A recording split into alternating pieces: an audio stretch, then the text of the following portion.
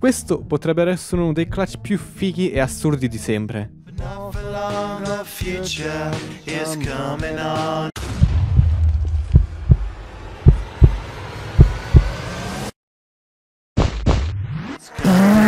Sì, vabbè, non male. Nice. Eh? Nice.